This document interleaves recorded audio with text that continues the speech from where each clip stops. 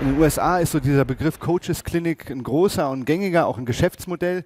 Ähm, und äh, wir haben gesagt, wir wollen das mal ausprobieren, die Hallentür öffnen und interessierte Trainerinnen und Trainer einladen und hier einfach mal ja, so einen kleinen Ablauf zeigen, was wir äh, mit euch vorhaben. Da wird der Alex gleich noch was zu sagen.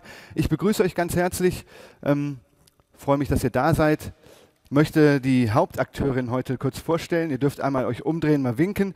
Das sind äh, zwölf Spielerinnen aus der sogenannten Talentfördergruppe 2, fünf Klässlerinnen, die ähm, alle im letzten Jahr, in, nach den Herbstferien im letzten Jahr angefangen haben, Volleyball zu spielen. Wir haben drei Mädels, die schon im Verein in Itstein, wo ist die Elke, äh, Vorerfahrung hatten. Ansonsten, das ist eine Ausnahme bei uns, ansonsten fangen die bei uns in der vierten Klasse an nach den Herbstferien und haben vorher noch nie Volleyball gespielt. Der Ablaufplan sieht heute vor, dass die erste Coaches Klinik ganz im Zeichen des Kleinfelds stehen wird. Also wichtig für uns ist zu zeigen, ähm, Talentakquise, wie läuft es hier am Stützpunkt, auch so Talentbindung, die ersten Einheiten dann quasi, äh, wenn Talente aus der Grundschule, das wird so der erste große Block sein, wie wir in die Grundschulen gehen, wie eine Sichtungsstunde da ausschauen wird. Die Mädels haben das letztes Jahr einmal mit durchgemacht. Wie dann die ersten Einheiten ausschauen, so ein paar Einblicke davon ähm, aus diesen ersten Einheiten, wenn die Kids dann hier in der Halle auftauchen.